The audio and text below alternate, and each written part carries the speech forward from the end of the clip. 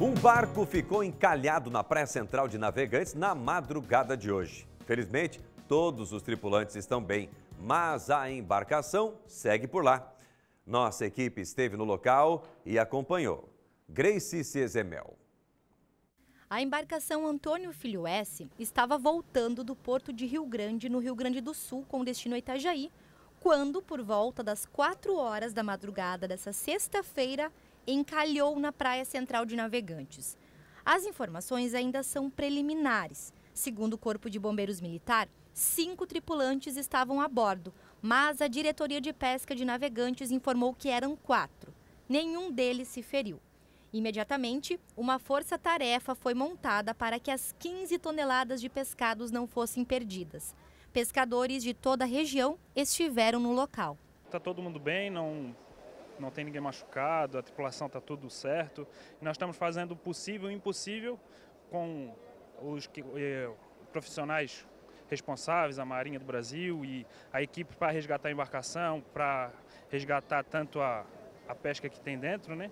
para aliviar peso e tentar salvar a embarcação o mais rápido possível. O que a gente pode fazer, a gente está fazendo, não medindo esforços para que isso venha a ser resolvido. A operação para desencalhar o barco pode levar alguns dias. O primeiro passo é fazer a retirada de toda a pesca de dentro da embarcação, para que o barco fique vazio e assim mais leve. Em seguida, será feita uma avaliação no casco para que ele possa voltar ao mar com total segurança. A Prefeitura de Navegantes prestou apoio logístico à operação. Agora é trabalhar para poder puxar essa embarcação para cima, fazer novamente a parte de calafetação e jogar para a água novamente. Né? Como ela é muito alta, ela não tem como é, circular na via por causa dos fios, então ela vai ter que entrar na água de novo. Ela tem as suas peculiaridades porque depende muito do tempo, né? A maré subiu é, uma, é um pensamento, a maré desceu é outro pensamento, né? Pode levar alguns dias. Com certeza vai levar de três a quatro dias ou mais, né? Ainda não se sabe ao certo o que causou o encalhamento do barco. A Marinha vai abrir um inquérito administrativo para investigar o caso. Ao que tudo indica, pequenos danos foram causados no casco do barco. Bombas e mangueiras foram providenciadas para auxiliar na possível entrada de água. Nenhum dano à natureza foi registrado. Não tem nada que degradou o meio ambiente e possivelmente pela fabricação dos tanques ali de serem de aço, de é, fibra de vidro, não tem como isso acontecer nesse momento, né? Os bombeiros fizeram a sinalização do local. Em situações como essa, a responsabilidade de remoção do barco fica por conta do proprietário. Nesse caso, são dois moradores de navegantes.